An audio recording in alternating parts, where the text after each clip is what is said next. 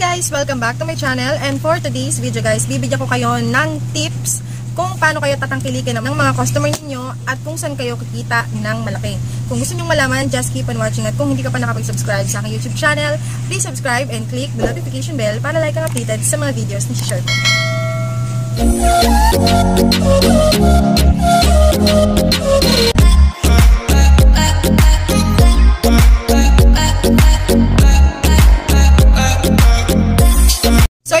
Ang topic natin for today kung paano tayo kikita ng malaki at the same time kung paano tayo tangkilikin ng ating mga customers. So ang tip ko para dyan ay stock tayo ngayong bare months. Ang pag stock ng produkto ay napakalaking tulong sa atin lalo pat kung ito ay napapanahon. Maganda guys na simulan natin ang pag stock ngayong bare months kasi malapit nang magpasko, malapit nang magbagong taon. So diyan po tayo um, kikita ng malaki dahil nga is maraming holiday, maraming event, celebration na magaganap. And sa panahon rin guys ng bare months, dito rin natin makikita ang sandamukal, sankaterbang, mga promo na ibinibigay ng mga groceries, kahit yung mga maliliit na grocery guys, nagbibigay sila ng mga pa-promo dahil nga pang-akit yan sa mga customer na kagaya natin. So, andyan yung buy 12, take 1, buy 6, take 1, at minsan pa ay meron silang mga freebies na kasama na pwede rin nating ibenta.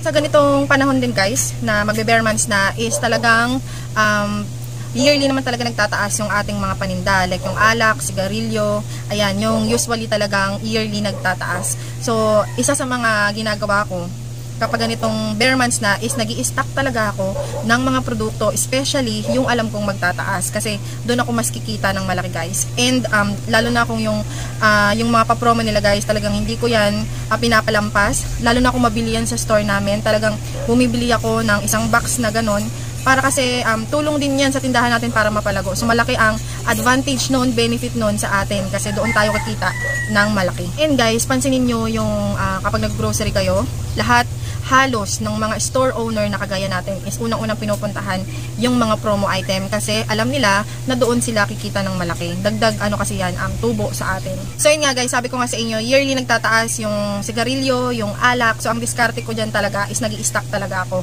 So um, ano na yan, uh, automatic na yan sa akin. Kapag bare months, automatic na yan dahil nga uh, last year naranasan na namin yan.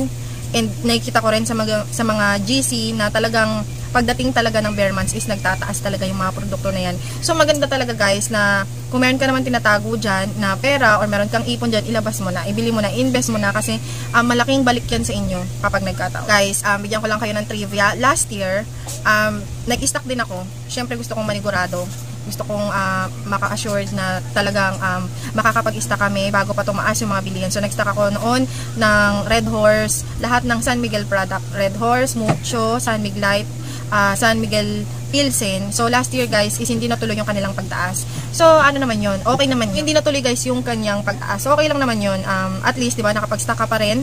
Uh, nai nailagay mo naman din yung pera sa makabuluhan. So, okay lang yon kung uh, late mo nang hindi late mo nang nalaman na hindi naman pala siya nagtaas, okay lang yun. Pero this time, um, bibigyan ko kayo ng trivia. So, nalaman ko sa aking source na magtataas po ang ating San Miguel products. Lahat ng nabanggit ko guys na San Miguel products is magtataas po sila. So disclaimer lang, um, hindi ko alam sa mga lugar ninyo pero itong source ko kasi nationwide to. So ayoko namang i-claim na pati yung sa inyo basta abang-abang lang kayo. So bibigyan ko, lang, bibigyan ko lang kayo ng uh, tip or trivia ba ito or information para 'di ba malaman niyo na agad or makapaghanda na kayo kung sakasakaling magtaas yung mga produktong ito. So ayun nga, um, magtataas po sila by September 30 katapusan or October 1. So, ayun. Yun ay dahil sa source namin. So, ayun. Um, depende na lang sa inyo kung uh, gagayahin nyo rin ako sa pag i So mga kasari, kung meron kayong ipon challenge na ginawa dyan or may savings kayo sa bangko, um, advice ko lang sa inyo na i-invest nyo na ngayong bare months kasi nga magtataas po ang ilang produkto na ating tinitinda. So maganda na uh, may mapuntahan naman yung pera natin at the same time kasi malaki ang balik niyan. So malaki ang tubo niyan guys, sinasabi ko na sa inyo kasi na-experience na namin yan. So um, yun nga, ang ginagawa ko yung mga nakatabi kong pera dito, hindi ako nang hihinayang na ilagay sa ating uh, negosyo or gawin siyang puhunan kasi nga mabilis ang balik niyan and doble yan guys. sinasabi ko sa inyo. So, yun nga guys, ang diskarte ko kapag parating na ang bare months ay nag stock po ko ng mga produkto na alam kong magtataas na. So, ngayon, ang topic natin is paano ka tatangkilikin ng iyong customer at the same time kikita ka. So, doon muna tayo sa kikita ka. Yan yung sinasabi ko sa inyo guys na maganda na mag-invest sa ganitong panahon dahil kapag bumili ka or nag-stock ka ngayon at tumaas yung produkto, malaki ang kikitain mo doon. Kasi maibibenta mo siya, susunod ka sa daloy ng bentahan.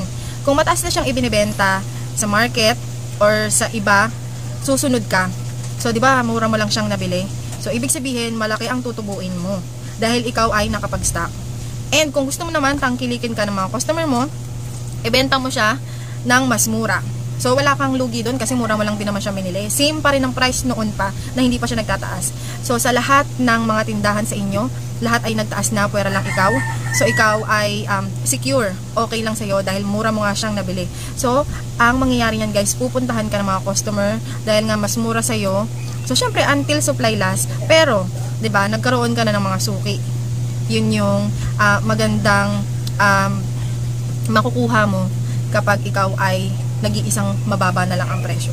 So, pupuntahan ka, dudumugin ka. Na-experience namin yan guys. Last year, nagtaas yung sigarilyo. Sa lahat ng tindahan dito is kami na lang yung mura. Mura kami ng piso. So, lahat talaga sila is dito talaga bumibili. And nakapag-stock ako noon ng, as in marami talaga ako na-stock noon eh. Parang isang box ata yon So, ayun, na-credit ko yun kay Winston and Mighty. So, ayun nga, dito sila nagbibilihan. Hanggang sa nasanay na sila guys. Kahit na nagtaas ako sa kanila, okay lang. Dito pa rin sila bumibili. So, ayun yung kinaganda na naiiba ka sa lahat. So yun nga guys, ang diskarte ko for today, yan ang ginagawang diskarte namin dito sa aming sari-sari store kasi isa yan sa magiging dahilan para lumagaw ang iyong store and ayun nga, lumaki ang kita mo at the same time makakuha ka ng mga customer, mga suki mo na bibili sa'yo. So yun nga guys, sana nakatulong sa inyo ang diskarte tip ko. So sa mga hindi pa nakapag-subscribe sa aking YouTube channel, please subscribe and click the notification bell para lagi kang updated sa mga videos na i-share